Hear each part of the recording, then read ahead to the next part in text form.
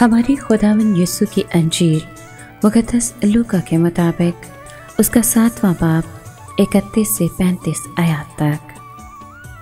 ایک دن یسو نے لوگوں سے کہا، اس پشت کے آدمیوں کو میں کس سے تشبیت ہوں اور کس کی مانت کہوں؟ وہ ان بچوں کی مانت ہیں جو بازار میں بیٹھ کر آپس میں پکار کر کہتے ہیں کہ ہم نے تمہارے لیے بانسلی بچائی مگر تم نہ ناچے۔ ہم نے نالا کیا، مگر تم نہ روئے۔ کیونکہ یوہنا استباغی نہ روٹی کھاتا آیا، نہ میں پیتا۔ اور تم کہتے ہو کہ اس پر پتھرو ہے؟ ابن انسان کھاتا پیتا آیا۔ اور تم کہتے ہو کہ دیکھو، کھاؤ اور شرابی محسلوں اور گناہ گاروں کا یار۔ مگر حکمت اپنے سب فرزندوں سے راست ٹھہرتی ہے۔ پاکلام کے پڑھے اور سنے جانے پر خدا من کی برکت ہو۔ خدا کا شکر ہو۔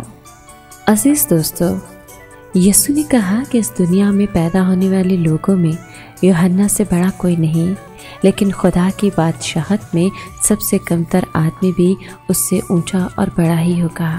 یہانا نے خدا کے کلام کی جو تعلیم دی، وہ سب لوگوں نے قبول کی۔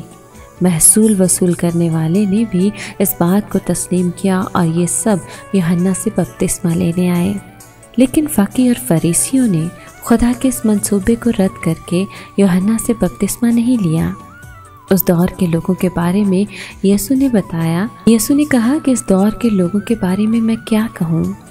مسیح یسو کے اس مثال کا مطلب انہوں نے اپنی بات کی وضاحت کرتے ہوئے بتایا کہ یوہنا کھاتا پیتا نہیں ہے، لیکن لوگ کہتے ہیں کہ اس پر بدروح کا سایہ ہے، جبکہ انسان کا بیٹا کھاتا پیتا ہے اور لوگ کہتے ہیں کہ یہ کیسا آدمی ہے، کھاؤ ہے، شرابی ہے، ٹیکس وصول کرنے والوں اور گناہ گاروں کا دوست ہے۔ اس پر یسو نے ان سے کہا کہ یاد رکھو کہ حکمت اپنے سب فرزندوں سے راست ٹھہرتی ہے۔